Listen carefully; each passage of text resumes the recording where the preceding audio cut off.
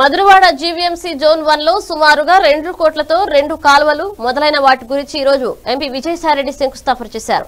పిఎంపాలెం మధురవాడ నగరపాలెం రోడ్లను ఈ రోజు శంకుస్థాపన చేయడం జరిగింది. ఈ సందర్భంగా విజయసాయిరెడ్డి మాట్లాడుతూ విశాఖ జిల్లాను నాలుగేళ్ళలో మంచి అభివృద్ధి చెందినట్లుగా తీర్చిదిద్దుతామని అలాగే విశాఖ జిల్లాకు ఎగ్జిక్యూటివ్గా క్యాపిటల్గా చేయడంతో పాటు మంచి టూరిస్ట్ ప్రదేశంగా తయారు చేయడంలో ముందుంటామని హామీ ఇచ్చారు. రాబోయే జీఎంసీ జీహెచ్ఎంసీ ఎలక్షన్స్ తొంభై ఎనిమిది వార్డులో గెలిపించి మా కార్పొరేట్ గెలిపిస్తామని కోరుకుంటూ ఇందులో మంత్రివర్యులు Avanthi Srinivas MP MVV Satyanarayana GVMC commissioner Srujana అలాగే లోకల్ వైఎస్ఆర్ పార్టీ నాయకులు తదితరులు పాల్గొన్నారు. ఆ,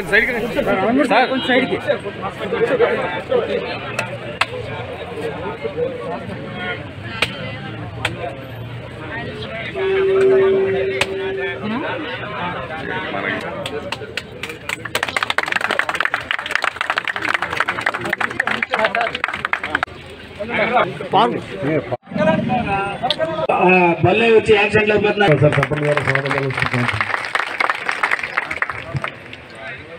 అలాగే మన సోదరులు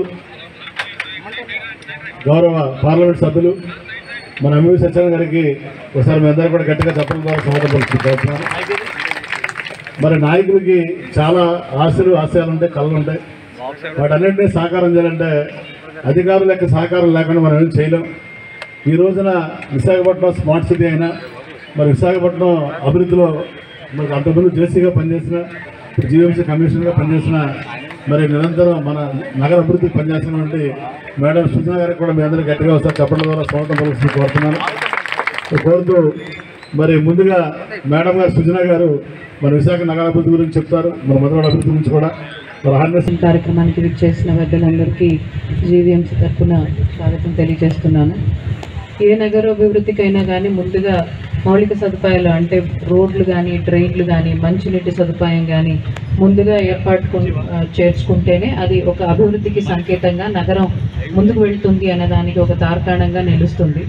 మీకు అందరికీ తెలుసు వైజాగ్ ఫోర్ సిటీ అంత డెవలప్ అయిన ఈ మధురవాడ భీమ్లీ ఏవైతే తర్వాత కలిసిన సిటీస్ ఉన్నాయో వాటికి ఈ మౌలిక సదుపాయాలు ఎంతైనా ముఖ్యం.